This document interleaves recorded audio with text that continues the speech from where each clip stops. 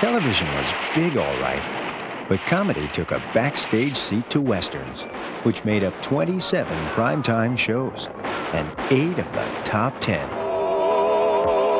Wyatt Earp, Wyatt Earp, brave, courageous, and bold. Long his glory, and long may his story be told. You still aim to turn him loose? No. But he's going to get a fair trial. Johnny Yuma was a rebel. He roamed through the West.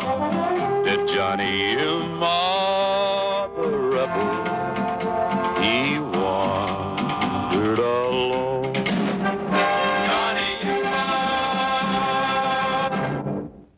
Hi, folks. I'm Hugh O'Brien. Hope you liked our show tonight, brought to you by General Mills. The makers of Cheerios, the only famous oat cereal that's ready to eat. And Gold Medal, America's favorite flour for better baking. We'll see you next week for Procter & Gamble, the makers of Gleam. Good night.